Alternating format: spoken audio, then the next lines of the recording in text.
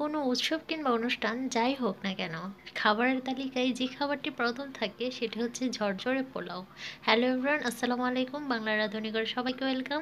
আমি আজকে রান্না করব পোলাও। চলুন তাহলে দেখে নিই আমার আজকের এই রেসিপিটি পোলাও রান্না করার জন্য আমি চালগুলোকে ভালো করে ধুয়ে একটা স্টেনারে রেখে দিয়েছি এবং দুটো তেজপাতা, লবঙ্গ, এলাচ দিয়ে দিয়েছি। চুলাতে একটি হাঁড়ি বসিয়ে দিলাম এবং দিয়ে দিলাম তেল।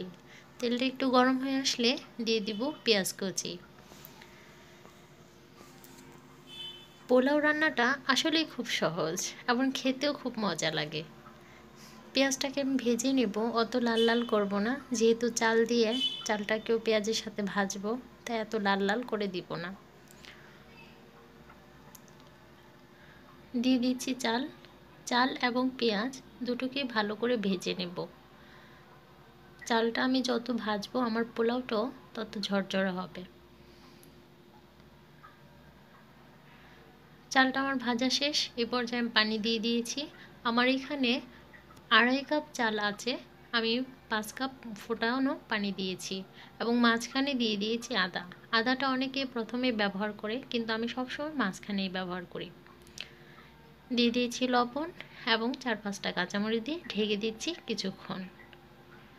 বলক চলে আসলে পানি শুকিয়ে গেছে। আমার পোলাওটাও মোটামুটি চাল সিদ্ধ হয়ে গেছে। এখন দিয়ে দিলাম কিশমিশ আপনারা এই ক্ষেত্রে দিতে পারেন বাদাম বা অপশনাল অন্য কিছু।